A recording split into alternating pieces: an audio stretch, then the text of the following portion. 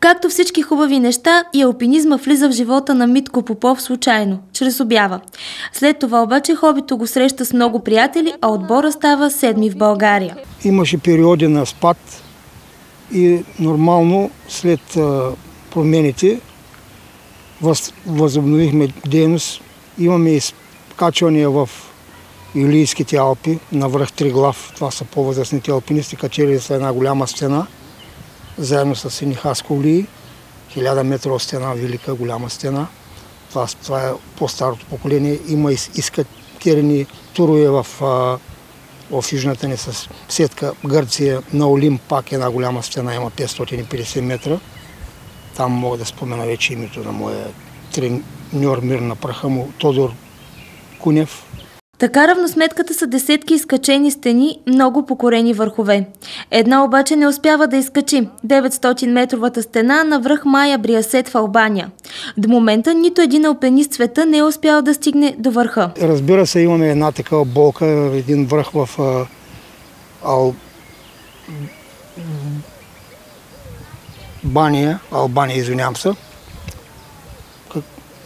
И това остава така просто за бъдеще. Просто не можахме миналата година да го изкачим. Мал шанс, аз направих едно върлопадане, за малко да се убие. Добре, че бяха момчетата. Та ме спасиха.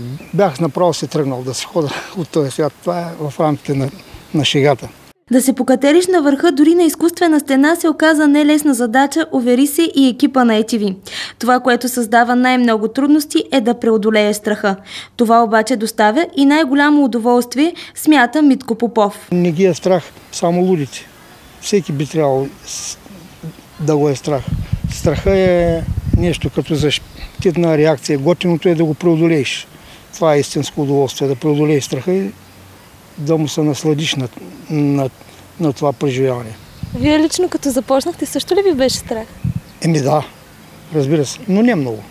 Сега Митко е мотора на Опийския клуб, така по него наричат по-младите му колеги, на които той предава своя опит. Чрез работата като инструктор на изкуствената стена в Димитровград, той учи и най-малките да се катерят, а надеждата за бъдещето е една. Искам Димитро Рачанин да се качи на 8 хилядник.